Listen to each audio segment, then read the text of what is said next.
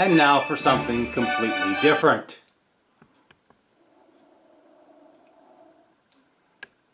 Yes sir, there he is guys. The one Freddy Flameout. Also known as Tiger. Hey guys, Glockster42. I hope this finds everyone well. Their New Year is going okay. I won't bother getting into my tale of woe. Uh, 2015 hasn't exactly started off uh, superbly for me.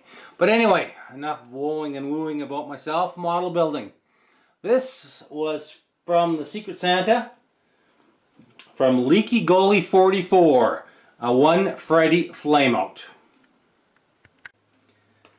So, as we said, it's Freddy Flameout, the way out jet jockey from Weird-Ohs, Caricatures.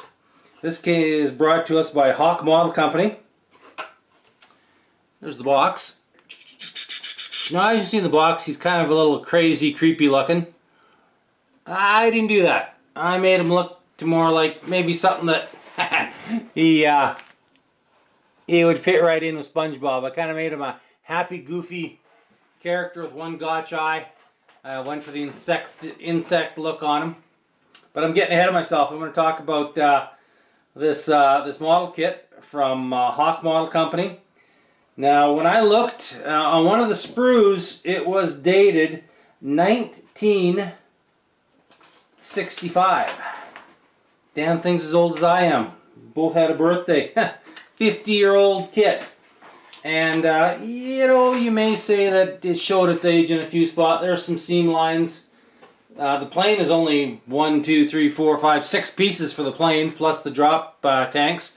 But, you know, after we got the, uh, we got all the sanding and sealing and priming done, it turned out pretty good. The decals were nice. They were a little thick, but they settled right down with um, some micro sol.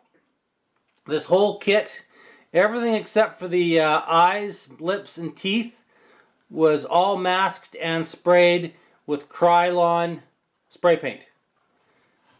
I shouldn't say everything.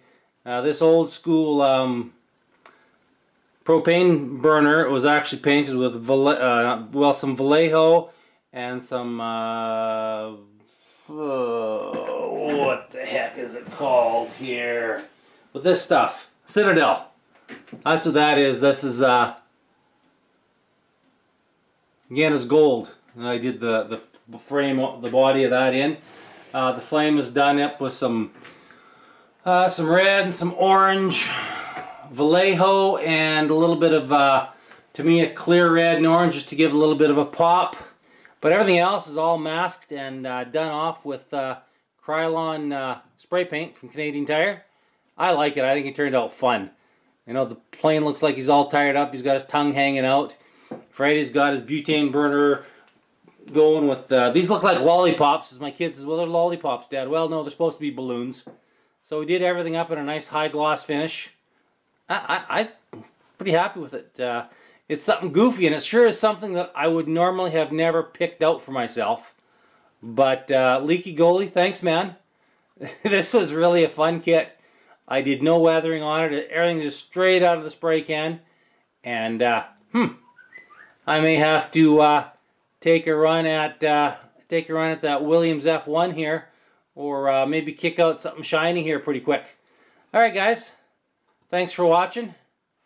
Everybody, you take care. Get some model building done. And, uh, yeah, let's hope 2015 gets better. Later, guys.